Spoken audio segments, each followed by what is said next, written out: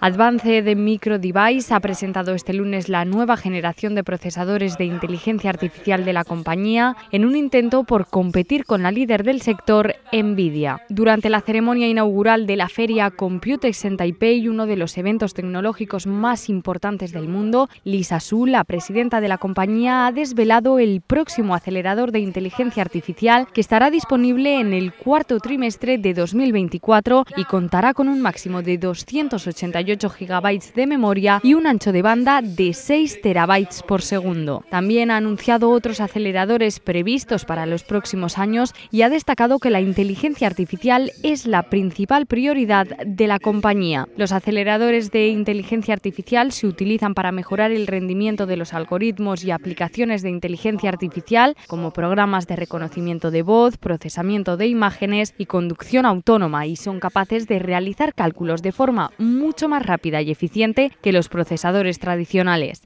Bajo el lema Conectando la inteligencia artificial, la Computex de Taipei comenzará oficialmente mañana martes con la presencia de más de 1.500 expositores procedentes de 36 países o regiones, entre ellos Google, Nvidia, Intel, Micron y Qualcomm.